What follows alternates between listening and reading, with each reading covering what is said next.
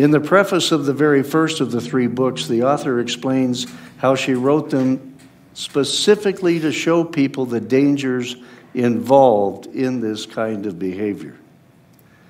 So, the value, well, I have a list of awards as well. We could have a lot of fun with those. The value of the books is clear. They can serve as a warning to any reader.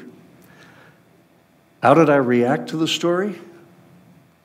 When's the last time you personally read a book that was so powerful that you found yourself talking to the lead character, pleading with her not to fall into that whirlpool of self destruction that comes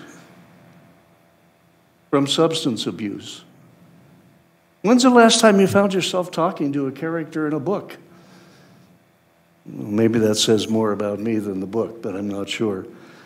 Imagine a writer who describes a character so well, a drug so well, that it turns into a character in the book, a character she calls the monster.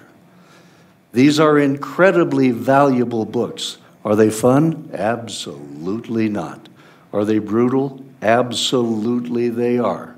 So, why would I recommend that we keep them in the high school library and in my case, encourage high school kids to read them because they are so very educational about the monster and the never ending cycle of self destruction that the monster creates in the lives of young people who fall into its grip.